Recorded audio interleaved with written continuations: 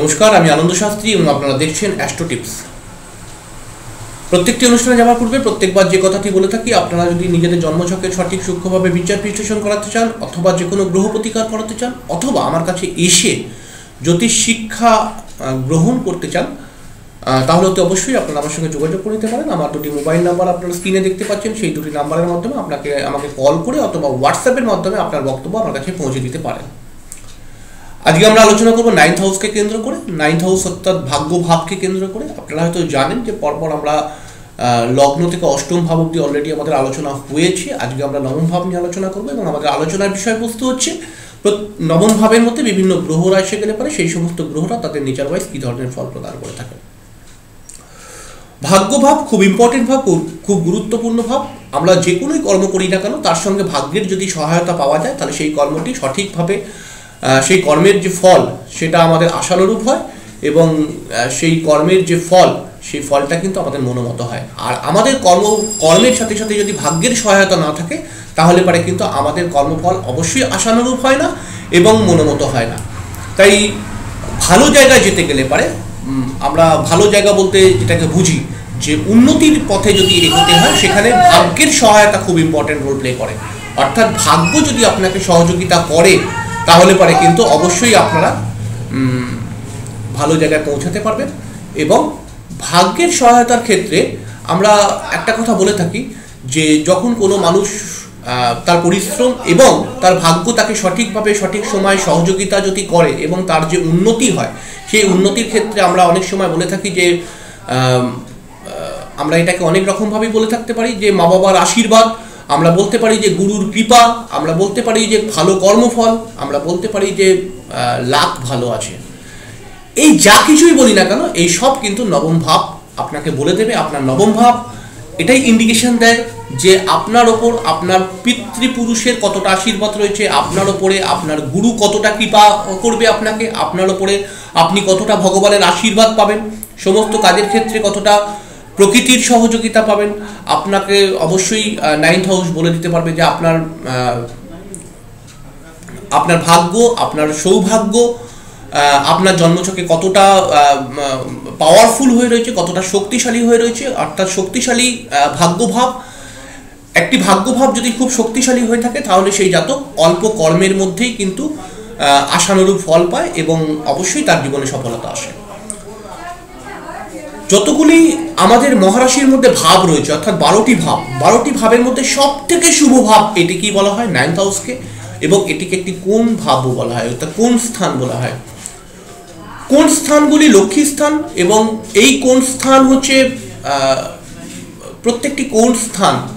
কিন্তু বুদ্ধিকে নির্দেশ করে, প্রতিভাকে নির্দেশ করে, তার সামাজিকতাকে নির্দেশ করে, তার মস্তিষ্কের চিন্তা ভাবনাকে নির্দেশ করে, তার বুদ্ধি ক্ষমতাকে নির্দেশ করে, এবং সেই জাতক আসলে একজন মানুষ আসলে কীরকম প্রকৃতির, সেটা আমাদের কিন্তু নবম ভাবের পর্যবেক্ষণ থেকে অনেকটা বেরিয়ে আসতে পারে। অর্থাৎ তার ভেতরে কতটা আধ্যাত্মিকতা রয়েছে, তার ভেতরে কতটা শ্রদ্ধা, ভক্তি রয়েছে, তার আচার তার আচার, তার যে ব্যবহার এইগুলো কিন্তু আমাদের নবম ভাব হাউস থেকে আমরা অনেকটাই বিচার করে বা পর্যবেক্ষণ করে বার করতে পারব। নবম ভাব খুব ইম্পর্টেন্ট ভাব হয়। এই ভাব থেকে অনেক গুরুত্বপূর্ণ গুরুত্বপূর্ণ বিষয় বিচার করা হয়ে থাকে এবং এই ভাবটি কোথাও পূর্বজন্মের সঙ্গে কানেক্টেড বলা হয়। অর্থাৎ পূর্বজন্মের পারদ্ধ কর্মফল এবং সঞ্চিত কর্মফলের একটি বহিঃপ্রকাশ বলা হয় নাইন্থ হাউসকে ভাগ্যভাবকে অর্থাৎ এই ভাবটি একটি এমন ভাব যেটা কিন্তু আমাদের আগে থাকতেই নির্ধারণ করা হয়ে গেছে বা আগে থাকতে আমরা কিন্তু জন্মাবার সাথে সাথেই এই ভাবটিকে মানে আমরা নিয়েই জন্মাই। অর্থাৎ কেউ কেউ আমরা বলে থাকি না যে আমরা যে কোনো কাজের ক্ষেত্রে বলে থাকি যে লোকটির কিন্তু লাখ খুব ফেভার করে বা ছেলেটির কিন্তু ভাগ্য খুব ভালো। অর্থাৎ সে জন্ম থেকেই কিন্তু একটা ভাগ্য নিয়েই জন্মেছে। অর্থাৎ ভাগ্যভাব যদি সহায়তা করে, ভাগ্যভাব যদি তার ফেভারে থাকে, তার পক্ষে থাকে, তাহলে পারে কিন্তু তার সঠিক জায়গায় জন্মও হয় এবং সঠিক পরিবেশেই সে বড় হয় এবং ধীরে ধীরে কিন্তু সে সমস্ত তার কর্মফলগুলি কিন্তু সঠিকভাবে আশানুরূপ ফলে রূপান্তরিত হয়। খুব ইম্পর্টেন্ট ভাব, এই ভাবটি সম্পর্কে না এরকম অনুষ্ঠানের মধ্যে ব্যাখ্যা করা খুব মুশকিলের ব্যাপার, কারণ অনেক কিছু বলতে হয়, তাহলে সব বিষয়টা গিয়ে পরিষ্কার হয়। তো যাই হোক, আমাদের অনুষ্ঠানের বিষয় হচ্ছে আজকে যে ভাগ্যভাবের মধ্যে বিভিন্ন গ্রহ রাশি গেলে পরে, কী ধরনের ফল প্রদান করে থাকে। প্রথমেই আমরা আরও একটা কথা বলব যে, ভাগ্যভাব যেহেতু এতটাই ইম্পর্টেন্ট ভাব, তাই এই ভাবের সঙ্গে যদি কর্মভাবের কোনো রকম সম্পর্ক স্থাপন হয়, তাহলে পারে কিন্তু কর্মের ক্ষেত্রে আশানুরূপ ফল পাওয়া যায়। এবং ভাগ্যভাবের সাথে যদি লগ্ন ভাব বা একাদশ ভাবেরও কোনো একটি শুভ সম্পর্ক হয় বা কেন্দ্র কেন্দ্রকোণের সম্পর্ক যদি হয়, তাহলে পারেও কিন্তু এটিকে খুবই শুভ মানা হয়ে থাকে। এবং আমরা বলতেই পারি যে সেই জাতকের অবশ্যই ভাগ্য তাকে অবশ্যই সহযোগিতা করবে এবং সে যদি তার প্রচেষ্টা, তার কর্ম যদি সঠিকভাবে চলে, তাহলে পারে সে তার ভেতরে কিন্তু ভাগ্যের একটা সহায়তা অবশ্যই পাবে। দেখুন, অনেকে আছে যে প্রচুর কর্ম করে, কিন্তু তবুও কোনো রকম ডেভেলপমেন্ট তবুও কোনো কোনো রকম কিন্তু উন্নতি দেখা যায় না। আবার আমরা এরকমও দেখেছি যে অনেকে আছে যে সেরকমভাবে কিন্তু কিছুই কর্ম করল না, কিন্তু তার জীবনযাত্রার মান কিন্তু অনেক উচ্চ হয়ে গেল। সে অটোমেটিক্যালি ভালো জায়গা পেয়ে গেল। এই যে কথাটা যখন আসে না, তখন এই ভাগ্য কথাটা আসে। অর্থাৎ তার লাখ তাকে ফেভার করেছে। এই লাখ হচ্ছে নাইন্থ হাউস অর্থাৎ আপনার কাজকর্মের ক্ষেত্রে, আপনার কর্মের ক্ষেত্রে, আপনার জীবনযাত্রার ক্ষেত্রে, আপনার ভাগ্য আপনাকে কতটা সহযোগিতা করবে। এবং সেটা যদি করে, তাহলে পারে কিন্তু আপনি অবশ্যই একজন সাকসেসফুল মানুষ অবশ্যই হবেন। তো চলে আসব আজকের মূল আলোচনাতে।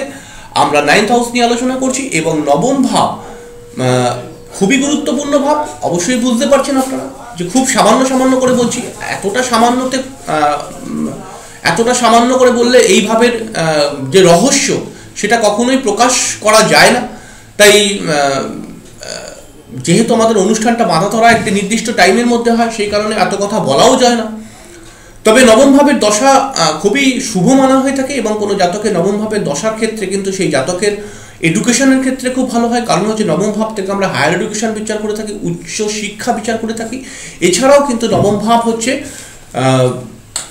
আমাদের আমাদের নবম ভাব থেকে কী কী বিষয় বিচার করা হয়ে থাকে এই বিষয় এই এইটা যখন আমরা বলব তখন কিন্তু আমরা বলব যে নবম ভাব হচ্ছে ধর্মের ভাব নবম ভাব হচ্ছে ভাগ্য ভাব নবম ভাব হচ্ছে পিতার ভাব নবম ভাব হচ্ছে তীর্থযাত্রার ভাব নবম ভাব হচ্ছে শিক্ষাগুরুর ভাব নবম ভাব হচ্ছে নবম ভাব থেকে আমরা বুদ্ধির দক্ষতা বিচার করে থাকব, নবম ভাব থেকে আমরা লম্বা যাত্রা যেটাকে বলব, দূর যাত্রা যেটাকে বলব, সেটাও কিন্তু নবম ভাব থেকে বিচার করা হয়ে থাকে এবং তার সঙ্গে সঙ্গে আমাদের শিক্ষক বা গুরু নাইন্থ হাউস থেকে বিচার করা হয়ে থাকবে এবং উচ্চ বিদ্যা তো অবশ্যই আছে, সেই জাতকের প্রসিদ্ধি কতটা আসবে সেটাও বিচার করা হয়ে থাকে এবং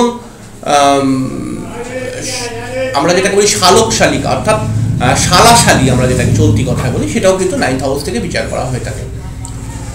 আধ্যাত্মিকতার জন্য এই ভাবটি খুবই শুভ এবং এই ভাবটি থেকে যেহেতু ধর্ম বিচার করা হয়ে থাকে, তাই আমরা সবসময় বলে থাকি যে সঠিক সময়ে সঠিক কাজ করা, এটি হচ্ছে ধর্মের ব্যাখ্যা খুবই বিশাল সেক্ষেত্রে আমি খুবই কাঁচা ব্যক্তি, ধর্মের ব্যাখ্যা করার ক্ষেত্রে। তবে আমি এটুখানি একটা কথা বুঝি যে সঠিক সময়ে সঠিক কাজ করা কিন্তু এটাকেও একটা, এক ধরনের ধর্ম বলা হয়ে থাকে। অর্থাৎ সঠিক সময়ে সঠিক কাজ সেই জাতক কতটা করতে পারবে, সেটাও কিন্তু এই ভাব থেকে বিচার করা হয়ে থাকে। এবং এই ভাব যখন আমরা বিচার করব, তখন কিন্তু আমাদের অবশ্যই আমি একটা কথা বললাম যে নবম ভাবে যদি দশা চলে, তাহলে পারে হায়ার এডুকেশনের জন্য ভালো, সুখ সমৃদ্ধির জন্য ভালো।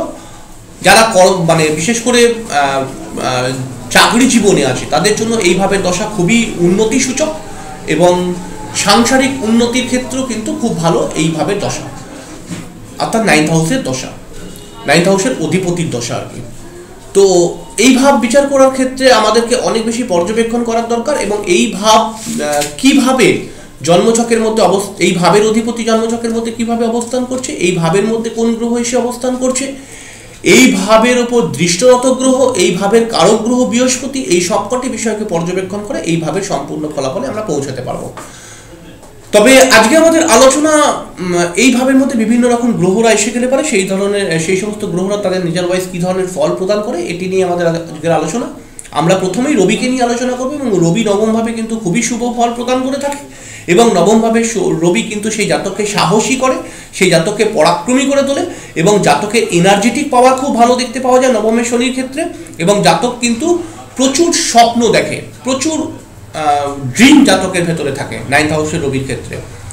জাতক গুণমান হয়, নিয়ম পালনকারী হয় নিয়ম নিষ্ঠার সঙ্গে সে চলতে ভালোবাসে।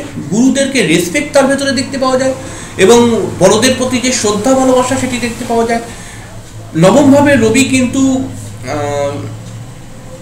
জাতকের সন্তান সুখের ক্ষেত্র খুব শুভ বলা হয়ে থাকে এবং নবমভাবে রবি থাকতে পারে উচ্চশিক্ষার জন্য খুব শুভ।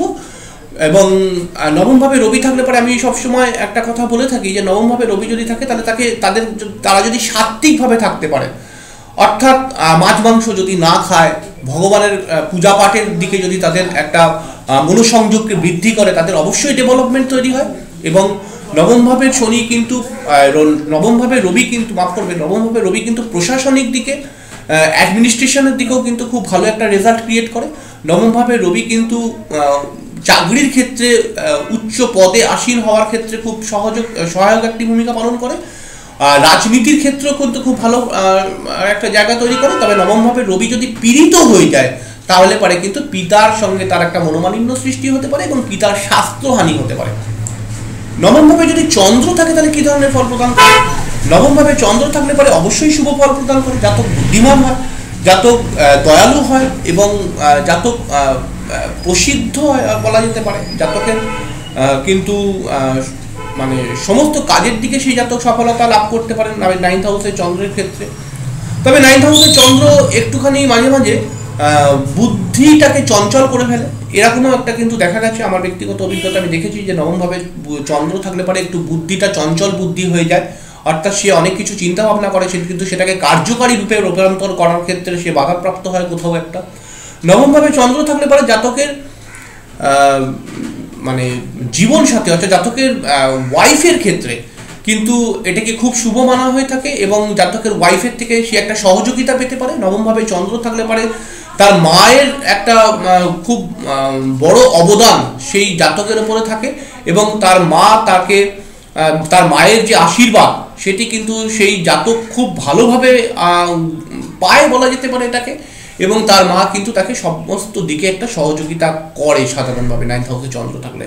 নাইন্থ হাউসে চন্দ্র থাকলে পরে জাতকের কিন্তু জাতকের বিদেশ যাত্রা হওয়ার দিকে খুব ভালো, জাতকের ধর্মীয় যাত্রার দিকে খুব ভালো। তীর্থযাত্রা করায় নবমভাবে চন্দ্র।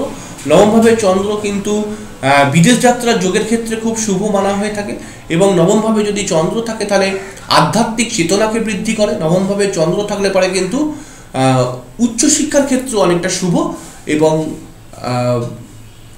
নবমভাবে চন্দ্র কিন্তু মা জাতীয় যে সমস্ত পরিবারের মধ্যে যে সমস্ত মানুষজন আছে, অর্থাৎ আমরা যেটাকে পিসিমা বলে থাকি বা মাসিমা বলে থাকি বা জেঠিমা বলে থাকি, মা সম্পর্কীয় যে সমস্ত রিলেটিভস আছে, তাদেরকে কিন্তু তাকে রেসপেক্ট করা উচিত, তাদেরকে, তাকে, তাদের মানে সেই জাতককে তাদের প্রতি শ্রদ্ধা রাখা উচিত, তাদের সঙ্গে কোনো রকম মতবিরোধ বা রাগারাগি না করাটাই ভালো হবে, তাহলে পরে কিন্তু আমরা বলব চন্দ্র পীড়িত হবে, নবম ভাব যদি পীড়িত হয়, সমস্যা জটিল হবে সেই জাতকের জীবনে। তাই এটা একটা ছোট্ট টিপস হিসাবেও নিতে পারেন আপনারা যে নবমভাবে যদি চন্দ্র থাকে, তাহলে কিন্তু তাদের মা জাতীয় যে সমস্ত আত্মীয় বর্গ আছে, তাদের সঙ্গে কিন্তু অবশ্যই সদ্ব্যবহার রাখা উচিত, তাদেরকে শ্রদ্ধা ভক্তি করা উচিত। এবং নিজের মাকে তো অবশ্যই রেসপেক্ট করা উচিত, নিজের মাকে কিন্তু অবশ্যই মানে ভগবান রূপে পুজো করা উচিত মানে এটা কিন্তু নবমভাবে চন্দ্র যাদের থাক আছে, তাদেরকে আমি বিশেষ করে বলব। এবং নবমভাবে চন্দ্র কিন্তু আলটিমেটলি খুবই শুভ ফল প্রদান করে থাকে। নবমভাবে যদি মঙ্গল থাকে, তাহলে কী ধরনের ফল প্রদান করে? নবমভাবের মঙ্গল কিন্তু যদি স্ট্রং হয়ে থাকে, তাহলে পারে কিন্তু একটু সমস্যা ক্রিয়েট করে। নবমভাবে মঙ্গল অনেকটা না মানে চঞ্চল ভাগ্য করে দেয় নবম ভাবের মঙ্গল। শাস্ত্রের দ্বিতীয় ঘর এবং নবম ভাবের মঙ্গলকে ঠিকঠাক বলা হয়নি শাস্ত্রে। এবং শাস্ত্রে বলা হয়েছে যে, নবম ঘরের মঙ্গল কিন্তু খুব একটা শুভ ফল প্রদান করতে পারে না, কারণ সেই জাতকের ভাগ্য কিন্তু প্রচণ্ড চঞ্চল ভাগ্য হয়ে পড়ে। এবং ভাগ্যের ওঠানামা একটা তৈরি করে। তবে নবম ভাবের মঙ্গল যদি থাকে তাহলে পরে জাতক অবশ্যই সাহসী হয় পরাক্রমী হয় এবং বুদ্ধিমানও হয় অনেকটা। এবং নবম ভাবের মঙ্গলের ক্ষেত্রে কিন্তু জাতক প্রচণ্ড প্রতিবাদী মানসিকতার হয়।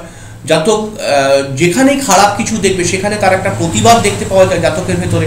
এবং আহ, নবম ভাবের মঙ্গলের ক্ষেত্রে কিন্তু আমরা একটা কথা বলব যে নবম ভাবের মঙ্গল কিন্তু ভাগ্য হানি করতে পারে। ঠিক আছে হঠাৎ সেই জাতককে কিন্তু একটা ওপর থেকে একটা ভালো জায়গা থেকে ফেলে দিতে পারে নবম ভাবের মঙ্গল। নবম ভাবের মঙ্গল থাকলে পরে কিছুটা বলা হয়ে যায় বলা হয়ে থাকে যে সেই জাতকের পিতা কিন্তু প্রভাবশালী হতে পারে। সেই জাতকের উচ্চশিক্ষার ক্ষেত্রে বিশেষ করে টেকনিক্যাল লাইনের ক্ষেত্রে কিন্তু বা ল রিলেটেড লাইনের ক্ষেত্রে আইন সংক্রান্ত পড়াশোনার ক্ষেত্রে কিন্তু নবম ভাবের মঙ্গল আরও অনেক আছে। আহ, নবম ভাবের মঙ্গল থাকলে পরে কিন্তু কিছুটা যেহেতু নবম ভাব থেকে পিতা বিচার করা হয়, সেক্ষেত্রে আমরা বলতেই পারি যে পিতার একটা দুর্ঘটনা বা অপারেশন যোগও কিন্তু ক্রিয়েট করে।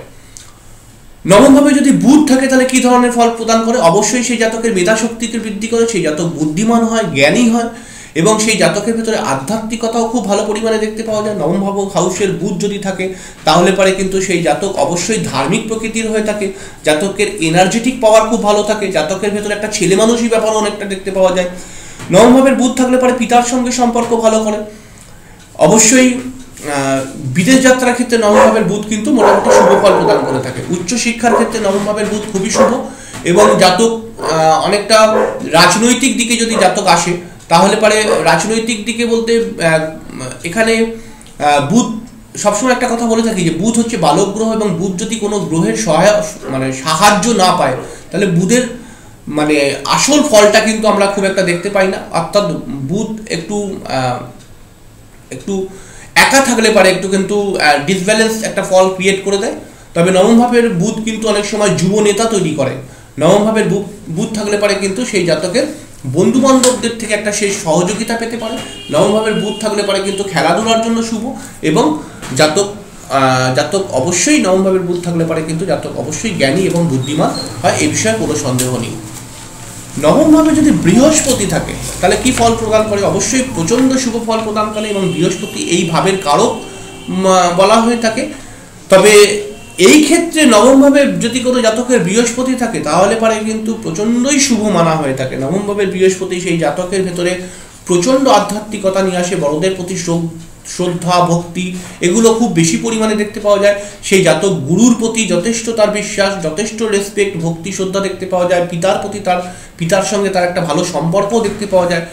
এবং পরিবারে যারা বয়োজ্যেষ্ঠ আছে, তাদের প্রতি তার একটা শ্রদ্ধা, ভক্তি বিশেষভাবে দেখতে পাওয়া যায় নবম হাউসের বৃহস্পতির ক্ষেত্রে। নবম হাউসে যদি বৃহস্পতি থাকে, তাহলে পরে জমি জায়গা বাড়ি ঘরের ক্ষেত্রে অবশ্যই সুখ লাভ করে এবং ব্যক্তি অবশ্যই মানে আইন পালনকারী হয় বলা যেতে পারে। নবম ভাবের বৃহস্পতি থাকলে পারে, সেই জাতক অবশ্যই ধনশালী হয়। নবম ভাবের বৃহস্পতি থাকলে পারে, সেই জাতকের টিচিং লাইনে চাকরি চেষ্টা করলে পারে, কিন্তু খুব ভালো হয়ে থাকে। আমরা নবম হাউস থেকে গুরু বিচার করি, শিক্ষকতা বিচার করি, শিক্ষক বিচার করি। সেখানে বৃহস্পতির মতো গ্রহ থাকলে পারে অনেক ক্ষেত্রে কিন্তু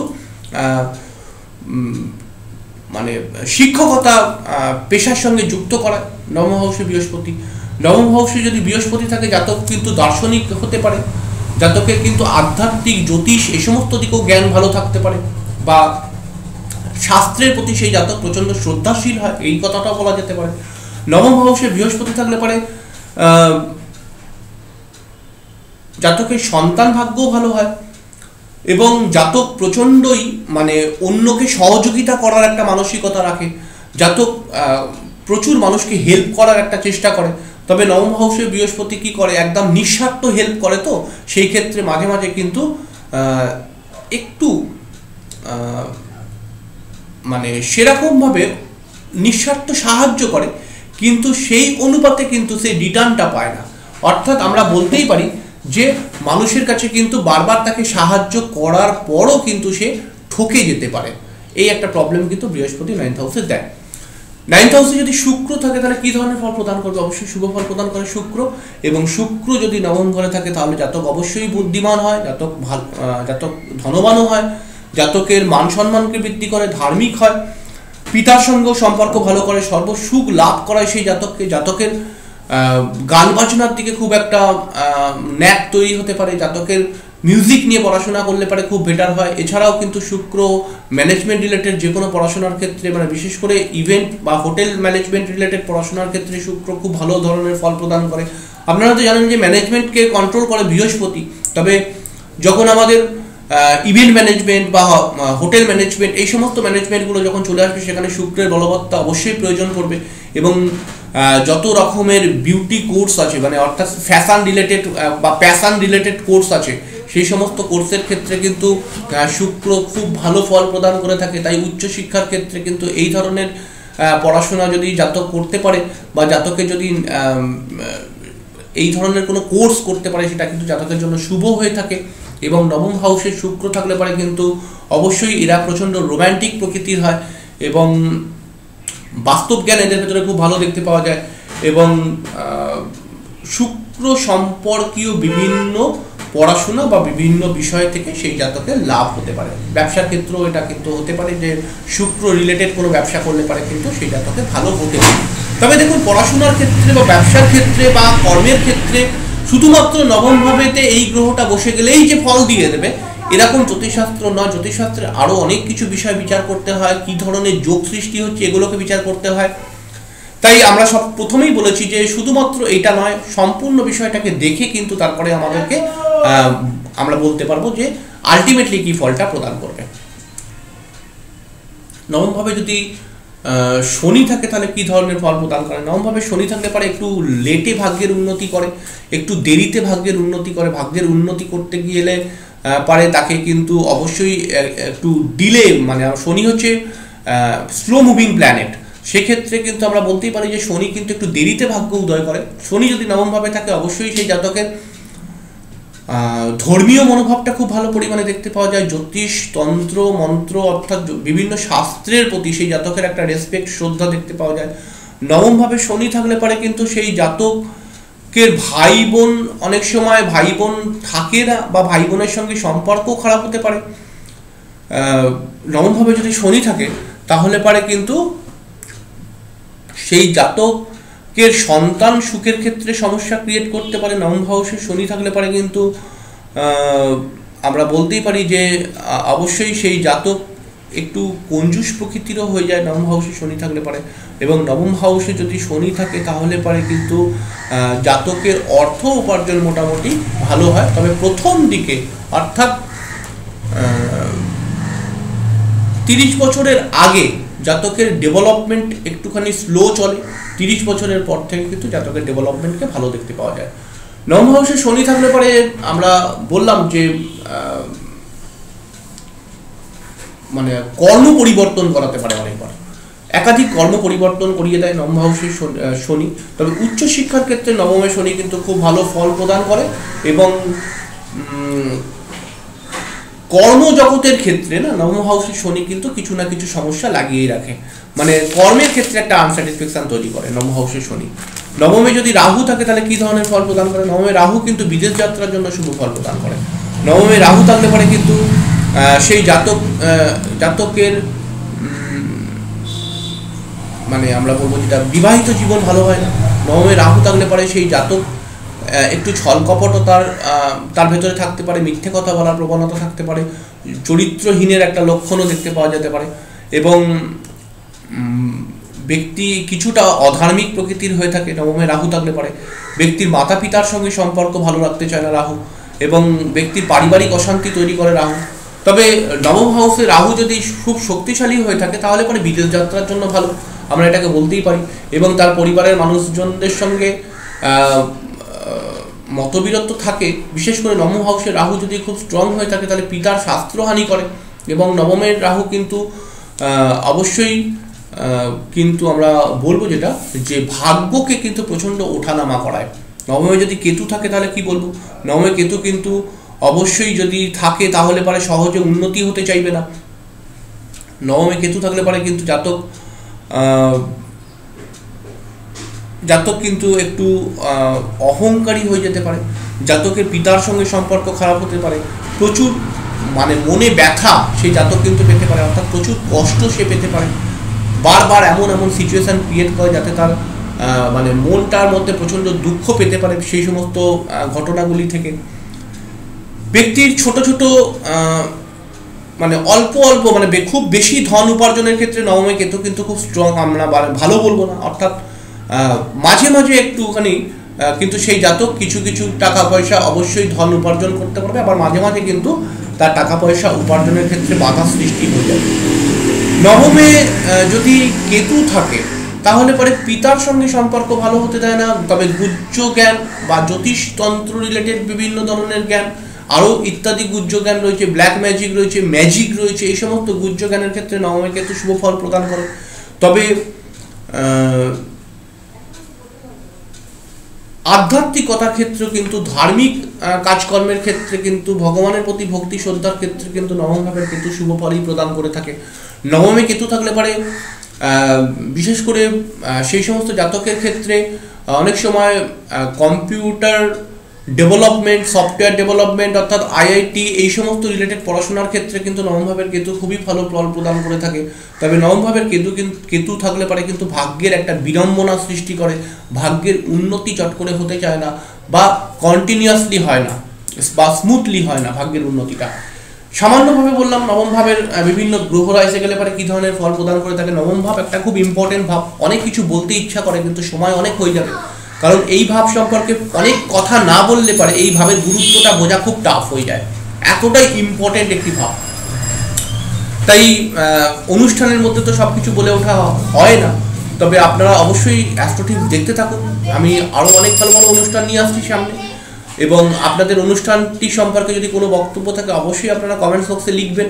প্রত্যেকটি কমেন্টস কিন্তু আমি পড়ি, হয়তো উত্তর দিতে পারি না, কিন্তু পড়ি অবশ্যই, এ বিষয়ে কোনো সন্দেহ নেই। এবং আপনারা অবশ্যই আপনাদের যদি ভালো লাগে লাইক দেবেন এবং অবশ্যই অ্যাস্ট্রোটিভ দেখতে থাকুন। অনেক সুন্দর সুন্দর অনুষ্ঠান নিয়ে আমি আসছি। তো আজ এই পর্যন্ত, পরের দিন আবার আপনাদের সঙ্গে দেখা হবে। ততক্ষণের জন্য নমস্কার এবং ধন্যবাদ।